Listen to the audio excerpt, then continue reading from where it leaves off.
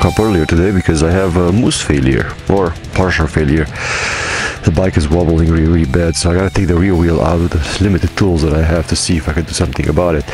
I thought this was uh, more bulletproof than it is, but uh, look, it's uh, uh, there is nothing there's an air gap between here and the mousse and in some parts see there's mousse over here and nothing mousse mousse air gap air gap air gaps actually have absolutely awesome traction but um, on the street you can see the wheel going like this.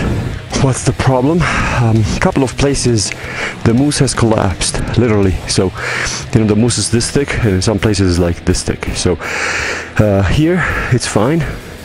On this side it's fine. Here it's fine. It's fully fully okay. But here it's collapsed. I'm gonna try to fill it up with something and I have nothing here in the middle of the woods and I don't want to put wood in there right? So I'm gonna fill it up with an old t-shirt and then I might done a little bit of a Jimmy rigging over here with this uh, tire which is a little bit too big but man the traction was absolutely pristine. But that might have ruined my mousse a little bit but it's okay. Uh, uh, lesson learned. Uh, and now the mousse with the size that it is right now I think it's easily fit into a Kenda Trackmaster which is one of my favorite tires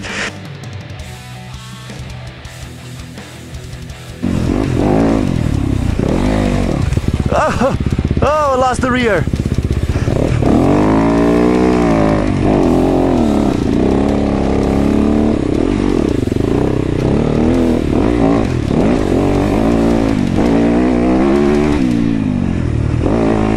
And for those people want to say, oh, it's, it's the t-shirt. No, it's not. Just made a mistake. Because people like to blame the tire for their mistakes. It was me fucking it up.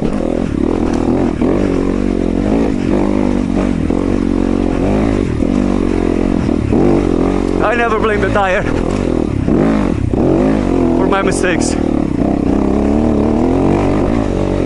Yeah, there are some better tires with better grip, but they're in between five or six percent so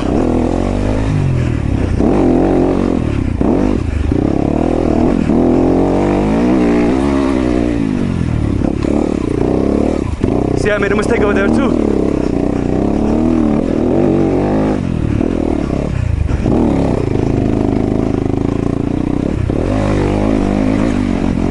trying to get around the rocks more than usual just because I'm trying to protect the rear rim.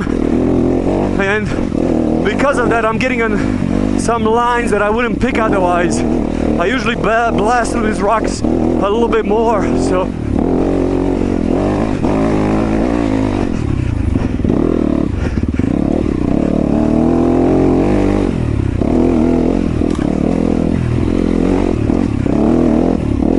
yeah see these rocks are kind of like more like try and take it easy. So my t-shirt doesn't break. You know I want to wear that t-shirt. That was gonna be the t-shirt I'm gonna wear when I'm gonna make this video. See if I take it out in one piece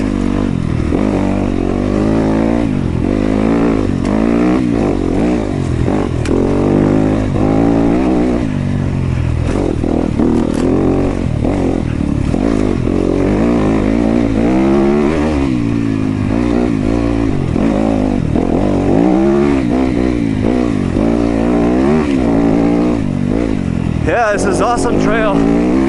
Awesome trail, awesome traction. Up ledge. Watch the rim. I think I was a rut. I think the root of the tree will still bend and break the rim and the spokes. You hit it hard with no protection from a tire. Handlebars up. Up, up, up, up brake, turn.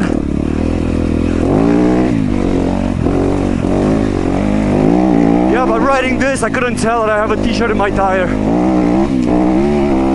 I could not tell I have a t-shirt in my tire over here. In some places I could feel a little bit more squishy than usual, but I would not be able to tell the expert that I am. I could have bought this bike and ride it like this, and take it out and surprise! The previous owner would have done this to me.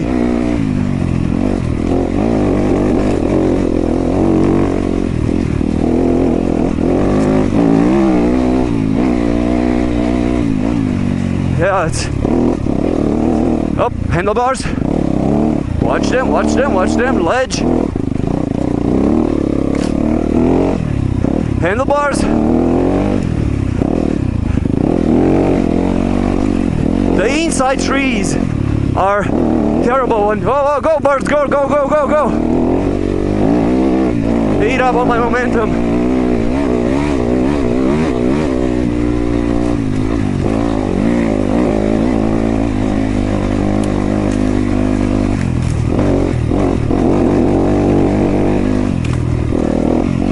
I was surprised that David behind me choose not to uh, the, the technical stuff. He's like, let's stay away from the technical stuff today. I was very surprised.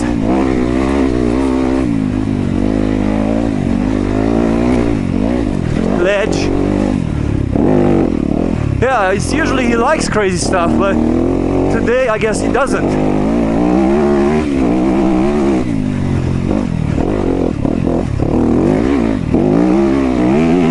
Man, the grip is so good on this t-shirt tire.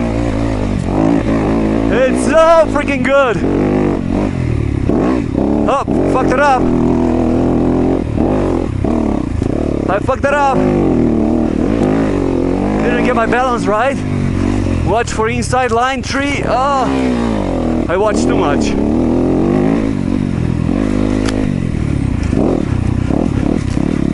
Inside tree over here too.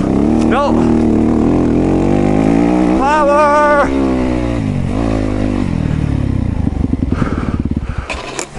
That was awesome. T-shirt tire holding up pretty good today.